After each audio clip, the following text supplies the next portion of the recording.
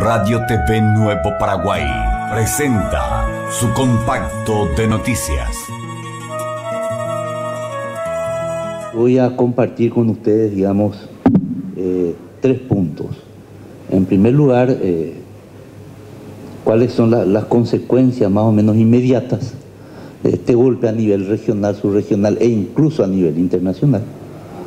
Es de que con este golpe eh, los Estados Unidos, con su proyecto de control y subordinación y ejercicio de hegemonía en la región, y las oligarquías locales, y en particular la derecha latinoamericana que fue desplazada del, digamos, de la institucionalidad del Estado en muchos casos, no del poder del Estado, por los proyectos fracasados del neoliberalismo, las represiones, los crímenes, los asesinatos, el Caracazo, se acuerdan del Caracazo, ni hablemos de lo que fue Bolivia, la, lucha por el agua en Argentina, donde se privatizaron hasta calles y veredas, y ese tipo de modelo fue desplazado justamente por una nueva fuerza y donde surgen nuevos líderes. Ese fue el cambio cualitativo, hasta el punto que hoy se debate a nivel internacional, digamos, sobre el futuro de los gobiernos democráticos progresistas de izquierdas en un Estado post-neoliberal. Esto es un tema de debate. Y en ese contexto es de que el golpe se da acá. En ese contexto es que el golpe se consolida acá. Y en ese contexto es que la derecha paraguaya, al tener el apoyo, digamos, internacional de varias otras derechas, se convierte en una especie de plataforma o si quieren una especie de portaaviones de un proyecto de reacción a nivel continental, más allá del peso incluso geoestratégico que Paraguay pueda tener en el concierto de, de las naciones acá en la región.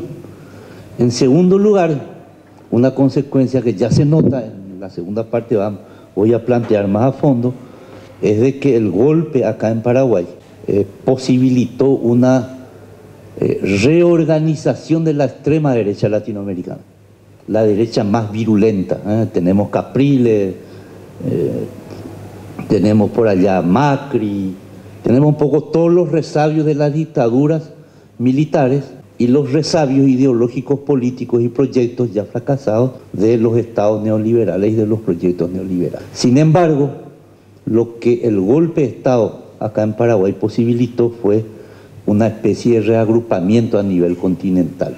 Y fíjense que eh, no es eh, un simple discurso. El primer Estado al que pidieron los golpistas venezolanos, eh, el golpista Capriles, etcétera, fue a Paraguay. Vinieron a Paraguay. Antes de ir a Colombia, vinieron a Paraguay. Y es ese hecho que merece realmente un análisis en cuanto a la proyección. Porque Paraguay sabemos que no tiene ningún peso geoestratégico, militar, económico, financiero, comercial, absolutamente nada. Pero sin embargo, la significación estratégica de la derrota de un proyecto progresista sí está a la vista a nivel regional. Y el otro elemento es de que al permitir ese reagrupamiento se produjo también y se está produciendo un fenómeno extremadamente violento que es la ofensiva general de toda la extrema derecha a nivel continental. Un solo país no escapa a ese fenómeno.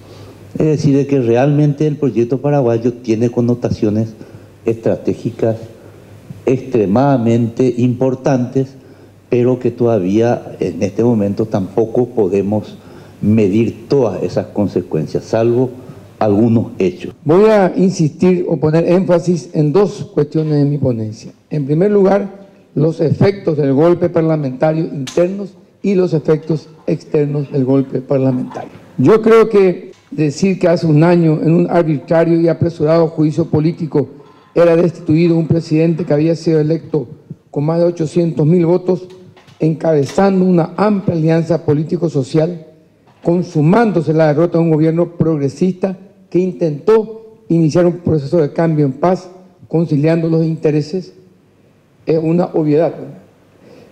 Ese cambio incluso era con desorden, sin establecer prioridades, en ocasiones sin coordinación, como reflejo tal vez es lo que era la misma Alianza Patriótica para el Cambio, pero siempre, eso sí, por los caminos de la democracia y la libertad, con una enorme voluntad de cambio, de avance en sentido positivo. No hay que olvidar que en, el 2008 ganó una alianza con el Partido Liberal Radical Auténtico. Si no es engañarnos, ¿verdad? Se ganó una alianza con el Partido Liberal Radical Auténtico y otras fuerzas sociales. Con el golpe parlamentario también era derrotado todo un proceso histórico que durante más de 70 años había intentado derrotar el sistema de partido, único o de hegemónico o de coloradismo, como se llame. No hay que olvidar que los colorados no ganaron en guerra civil en el 47, no ganaron en la guerrilla del 59 y del 60, ganaron la participación condicional del 62, 63, 67, 73, ganaron con el ingreso en pleno del PLRA, con la retirada del PLRA, con el intento de la OPM. El Partido Colorado había ganado en todas las formas, en todas las formas, no hay que engañarse. Esa es la historia política, la mayoría acá protagonista de esa historia.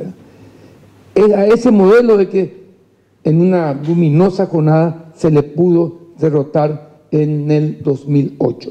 Eh, y los hechos demuestran, el haber triunfado así, tienen que demostrarnos que ya no es suficiente que un gobernante tenga el voto mayoritario, que se hayan tomado, eh, porque el gobierno luego no tomó medidas fuertes en contra de ningún sector. No se creó un solo impuesto, no se limitó un ápice a la propiedad inmobiliaria rural, nada de eso. Entonces, va la oposición a mí también.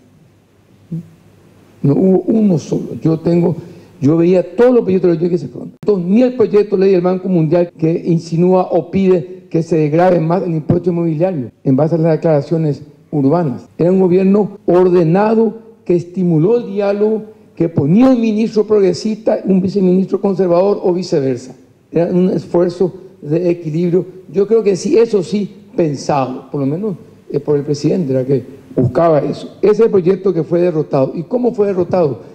Y ahí coincido plenamente con Hugo, reflotando los fantasmas de la dictadura. Los que vivimos bajo Stroner tenemos que recordar la palabra que antes nos decían zurdo, legionario, molche, antipatriota. Con eso no se calificaban. Ahora sumaron términos nuevos, bolivariano, traidor, triple alianza, etc. Y nos ganaron de una manera tal esa batalla que los que hablan de legionarios son los aliados de los mitristas de Buenos Aires. Cuando yo era senador, y me reprocho hasta ahora, se le recibió a Bartolito, a Bartolito Mitre en el Senado, se le dio una condecoración, etc. la misma gente que dice que la guerra de la Triple Alianza fue una guerra civil y que López era un chacho peñaloso, Facundo Quiroga más. Hasta esa batalla no ganaron. Tal el triunfo mediático de la ultraderecha que nos ponía a nosotros en ese, en ese papel, ¿verdad? Por eso yo quiero plantear, como estamos entre compañeros, replantear un poco el debate. Muy fácil si la derecha, la derecha no ganó. Quiero recordar a un gran teórico progresista llamado Antonio Gramsci, que estando preso en el 30 dijo, muy fácil de culpar, los obreros votan a, Mussolini, o votan, se hacen franquistas, votan derecha. Hay que preguntarse, ¿por qué votan a eso? ¿Por qué no nos votan a nosotros? Esa es la pregunta que hay que hacerse. Muy fácil decir, ellos, ellos lo mandan y Andela bueno. Hay que preguntarse por qué votan a nosotros y por qué no nos votan a nosotros. Eso a Gramsci le costó hasta la exclusión en su propio partido, ¿verdad? Pero planteó eso. Yo creo que hoy que el Frente Guazú tiene cinco senadores, un diputado y tiene concejales departamentales, tiene que plantearse. No es suficiente hoy día decir no a la ley energética. ¿Qué ley presentamos en el Congreso nosotros? ¿Cuál es el modelo de administración energética? Yo no estoy de acuerdo con los compañeros de Frente Guazú cuando dicen resistencia. No, resistencia y triunfo. La gente quiere ir mejor. Yo, si tengo un buen sueldo, puedo pedir resistencia. Pero los miles de votantes del Frente Guazú, los que se movilizaron en todo el Paraguay, quieren mejorar su vida. Entonces, quiere buscar perspectiva de trabajo.